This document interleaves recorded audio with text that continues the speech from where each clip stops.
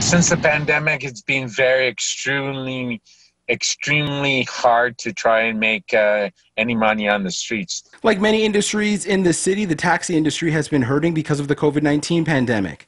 Now, the CEO of Co op Cabs, along with others, are urging the city to step in as more than 90% of their fleet has sat idle because of COVID 19. And this has resulted in a massive amount of lost revenue. So, we are an industry that right now on the roads uh, that are about to disappear. So we're asking the city council and, and all level of government to, to step in and assist uh, the industry. Uh, one of the things we're asking is uh, the license renewal fees for the taxi cabs, as well as the driver, to be either waived this year and, and reduced moving forward. The, the licensing, the problem with the licensing is that, like, if you look at before licensing, you know, when when the plates were worth $300,000, we're paying $1,300.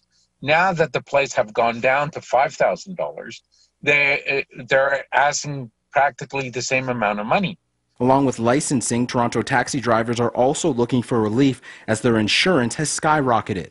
We have to purchase uh, commercial insurance, fully commercial insurance for the taxi in order to transport people from point A to point B. And you know, transporting people are basically the, the, the most valuable commodity. So, and, and, and, and there's not, you know, adequate insurance right now for the taxi industry. The only thing that's available to us uh, to insure our vehicle are facility.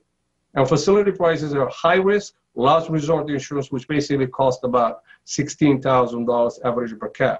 The insurance part is uh, very very hard. We're paying uh, um, sometimes uh, triple or um, four times more the insurance rate that we're paying. I was paying last year for forty five hundred dollars. I my renewals come will be coming up, and uh, I'll be paying close to fifteen, sixteen, seventeen thousand dollars. The motion was deferred in September by Council for supporting taxi operators from COVID related financial hardships.